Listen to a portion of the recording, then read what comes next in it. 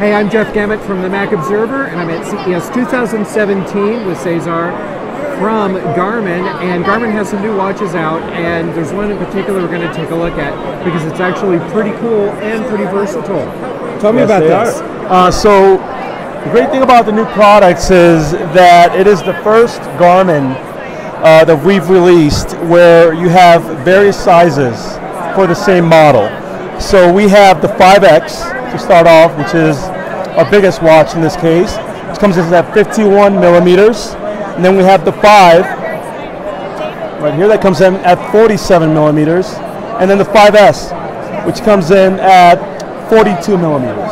Uh, so the 5S, the, the great thing about the 5S is that it is it's still a multi-sport watch, and you're getting the same features that you get from the regular fenix watches or the larger watches. So you're not losing any of the multi-sport features, but you're still receiving uh, all that information, even with a smaller watch. So you're also getting, as you can see, you also have heart rate, just the same as the 5X and the 5. So you don't you're not losing any of those features. And they're so easy to snap out. So you don't need screws, you don't need any of that for it. Um, so that's one of the great things about it. You can interchange the bands as you see fit.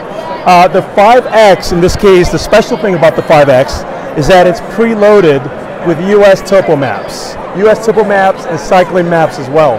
So with that information, you can tell the unit if you have to run, for example, for five minutes. Um, after it, it can actually calculate that time because of the mapping on it and give you suggestions on routes that, that you can handle with the watch. So those are the main differences between the three. Uh, and then the regular fenix 5 has that industrial design. It's a little bit bigger than the 5S, but it is smaller than our previous fenix 3 HR. So you get uh, a nice size factor between the three. You get options, which is the nicest thing with our fenix line. Okay, that's awesome. So now, when is this going to be available? We're going to be available Q1 of Awesome. 2017. And do you have a price point for this range yet? Yes, I do. Uh, we have the 4S, the fenix 5S. I apologize. Uh, it's coming in at 599. The fenix 5 will also come in at 599, and the 5X will come in at 699.